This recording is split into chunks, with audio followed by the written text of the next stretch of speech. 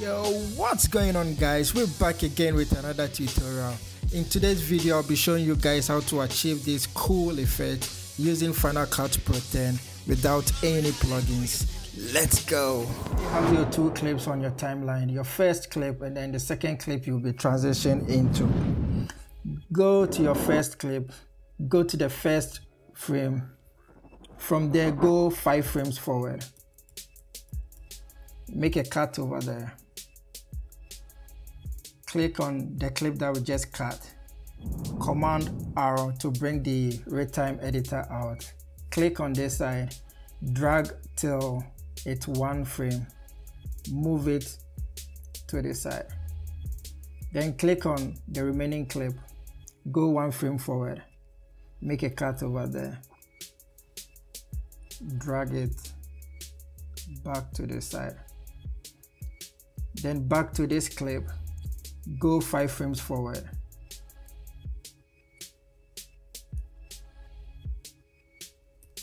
Make a cut over there.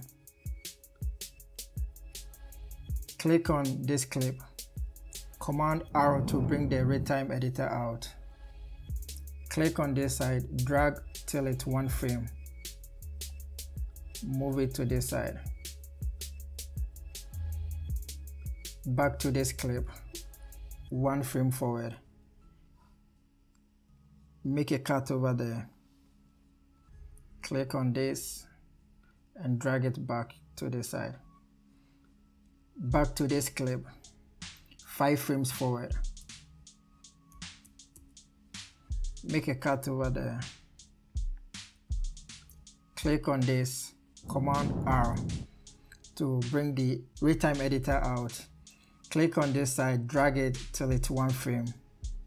Move it to this side. Back to this clip. One frame forward. Make a cut over there.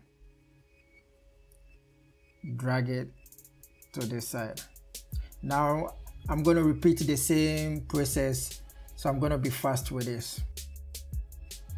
So we've already done with the cutting. Now we drag the second clip closer to the last clip make a cut over here. Delete this. So now we'll wait for it to render and see how it looks like.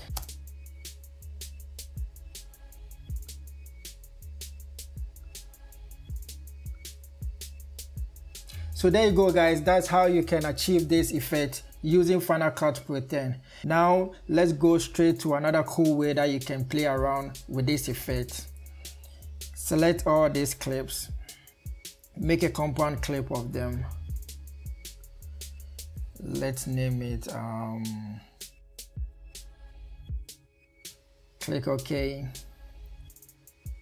And then this is what you do. Make a duplicate of the clip that we just made a compound clip of. Drag it to this side. Click this side and then reverse the compound clip that we made a duplicate of. Now let's drag the second clip we'll be transition into. Let's wait for it to render and see how it looks like.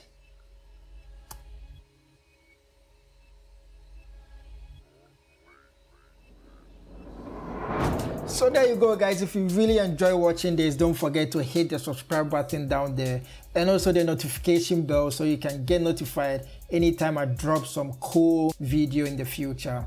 As always, my name is Joey. Stay safe out there and be creative. Peace out.